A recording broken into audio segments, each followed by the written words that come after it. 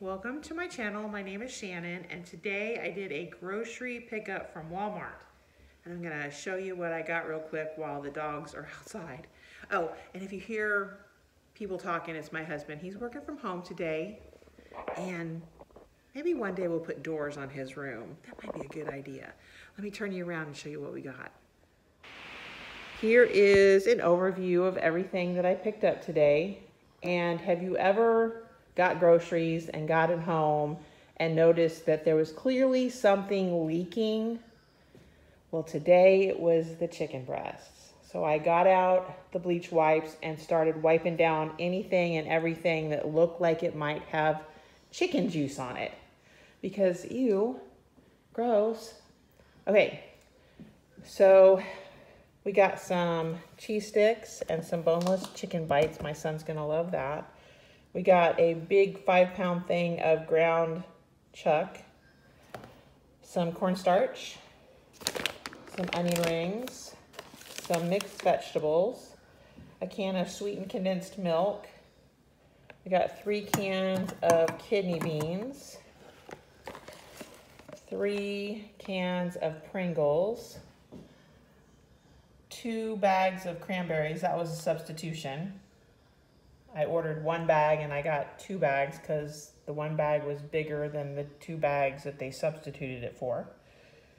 Some yeast, some aluminum foil, the big long pack, some meatballs.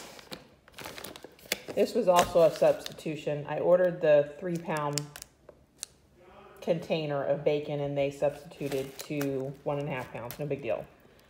Some sausage patties, some Fritos. These things are impossible to find. I wanted the scoop style, but and the big bag, but this is what we got and we'll be, they'll get eaten.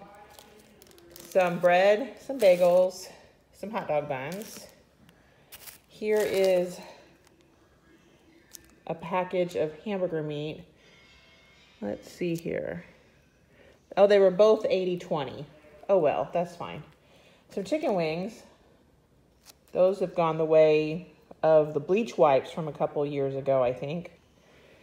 Some Thins, Cantina Thins, On the Border Tostito chips, or I guess they're not Tostito chips, but corn chips. Um, some Salisbury steak. I'm getting distracted by my husband in the background. The chicken breast that was leaking all over the place. They were out of my Tillamook cheese, so I just got some Colby Jack, Colby Jack cheese. Oh, I guess, yeah. Some cheddar cheese, some sliced Colby Jack cheese, one cucumber. They had Brussels sprouts. I was pretty excited about that. So I got a bag of Brussels sprouts, four tomatoes, two packages of cream cheese, a bag of onions, some carrots, some oranges, mandarin oranges, a head of lettuce, some celery, some Gatorade. We love the Gatorade. A two pack of 18 eggs, two packages of turkey. Now, what would you all do with this? Today is the 20th, and this milk is labeled for the 20th. I, I'm gonna have to investigate. Maybe I should return it.